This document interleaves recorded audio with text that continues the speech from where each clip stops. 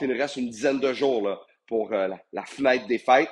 Donc, il faut que ça accélère, puis les prochains jours vont être déterminants. Jour et nuit et même la fin de semaine, chaque minute compte. Les négociations se poursuivent, mais pour l'instant, c'est encore l'impasse. Autour du premier ministre, qu'on semble dire, c'est je fais plusieurs journées de grève, ils vont être sans salaire, ils vont accepter une petite offre, puis ils vont revenir au travail.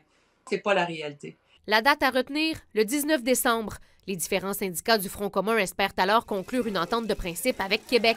Donc, s'il veut que les enfants retournent à l'école et les travailleuses et travailleurs du réseau de la santé et de l'éducation retournent dans les établissements travailler, ben c'est sa chance. D'ici là, rien n'est exclu.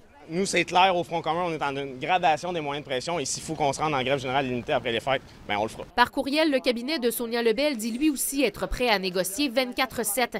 Le déclenchement de la grève est une décision qui appartient aux syndicats et nous sommes en action pour en arriver à une entente le plus rapidement possible, nous dit-on.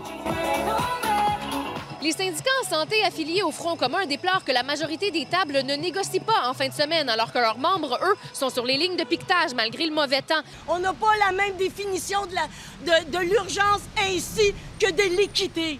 Et les offres présentement qui nous offrent sur la table, c'est vraiment l'hôpital qui se moque de la charité. Je lâche pas.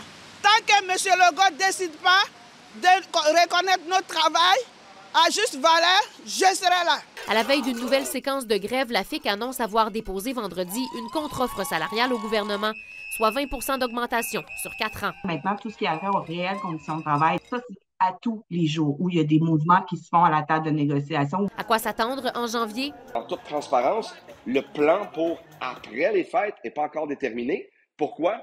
Parce qu'on veut se donner tous les moyens pour arriver à un règlement, mais à la hauteur des attentes. À moins d'une entente dans les prochains jours, parents et patients devront prendre leur mal en patience. Le Front commun continuera de débrayer jusqu'à jeudi et sera rejoint dès demain par la FIC. Audrey Folio, TVA Nouvelle, Montréal.